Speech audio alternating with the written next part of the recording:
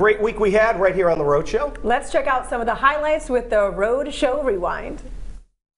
Hey, buddy. What's happening, baby? Everything's Cheers. polish the Emmy now because we're going to take everyone all the way to the Rhode Show green room and kitchen. little caffeine never hurt anybody.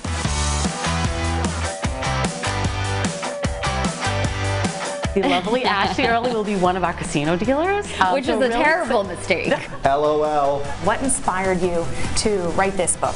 That's where my mind goes. That's It's where a- my mind goes. It's another book. the award-winning author of Read It Before You Eat It. Comedian and author Ace Aceto. You're not only an actress, you're an author too. Two authors on the ho- co-hosting the same show. I got to write a book. You do. I also want to welcome you to the Rhode Island airwaves. to see all my hairstyles, all the trends. Oh, I got in the band when I was a senior in college, I think it's going to be a really fun look back for the audience.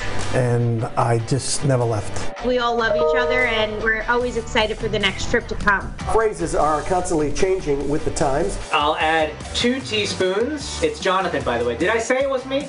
It can be hard to keep up with what they mean and when to use them. Um, my name, I think, was probably uh, in uh, uh, on the uh, uh, bottom. What do you call that? The overlay? I don't know.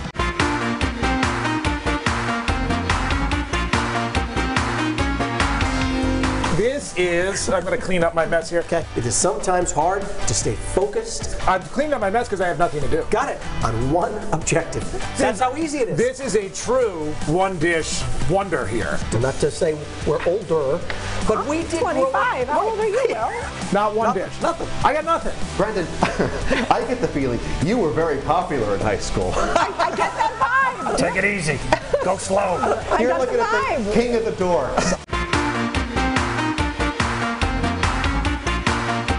You must have a proper proper writing utensil. This is the brown butter toffee latte. I don't want to ruin it. It looks It's okay. This is actually delicious. Yeah, very good.